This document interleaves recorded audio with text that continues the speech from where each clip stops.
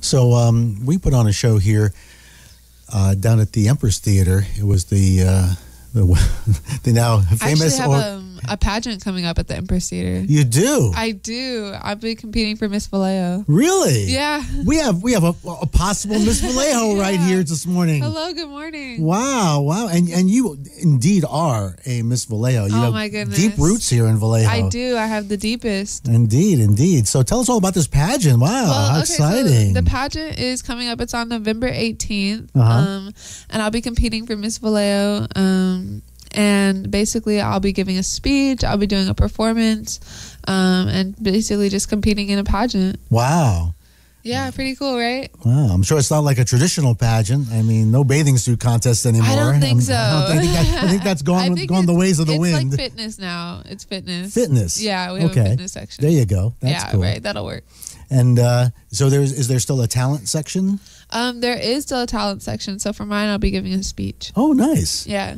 Cool, cool. I was gonna play piano, but I think a speech might be a little bit better. All right. But I'm actually right now I'm working on the background music for my speech, so I think Oh. I'm gonna compose it myself.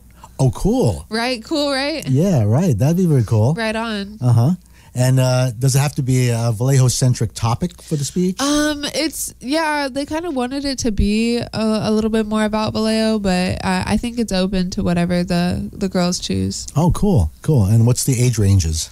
Um, I believe 18 to 28. Uh huh. And uh, I'm sure there'll be uh, women who are local uh, entrepreneurs, local talent, Definitely. local pol- politics, even maybe. Yeah, definitely.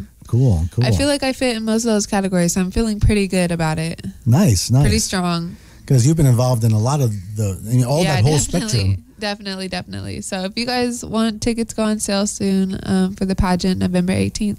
Now, is there a judges panel or is it There by popular? is, there is, and I believe we'll be crowned by Miss California. Whoa! Pretty cool, right?